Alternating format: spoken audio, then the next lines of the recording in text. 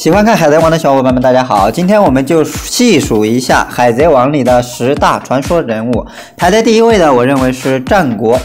为什么呢？因为原海军本部元帅，动物系幻兽种，人人果实，大佛形态能力者，现任海军本部大督察。大海贼时代被誉为智将，可谓风华正茂，已是海军前线人。古稀之年，仍是正义开拓者。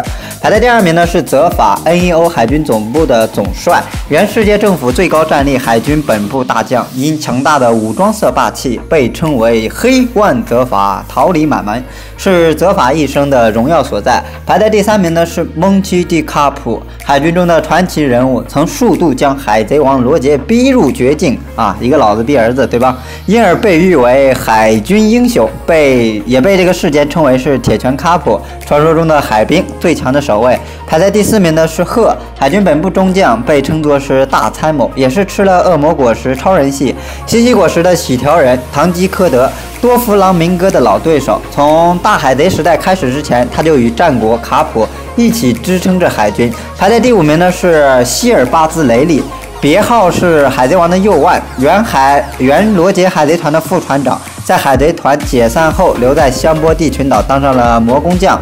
曾经英雄盖世，他是原海贼王的兄弟搭档，现在不问世事，他是未来海贼王的指导老师哦。排在第六名的是库洛卡斯，原名是罗杰海贼团的船医，参与过二十五年前的艾特沃尔海战，现任是灯塔管理员。排在第七名的是爱德华纽盖特，外号是白胡子。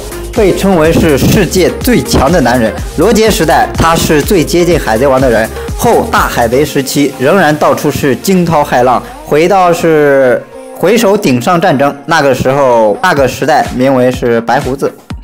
史基外号是金狮子，过去曾与戈尔罗杰蒂和白胡子爱德华纽盖伦齐名，是推进历史上第一位逃脱的海贼啊！这个大家应该不是很熟悉。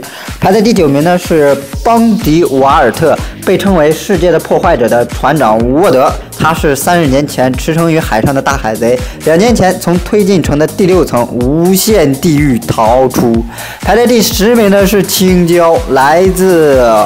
东方花之国的青椒家族的首领，经常撞开常年冰封的冰大陆，目前是追之青椒名不副实，只能算是被拔掉利齿的孤狼，不是丢了锥顶的光头。好，这一期的海贼盘点就盘点到这里，小伙伴有什么不同的意见，可以在评论区留言哦。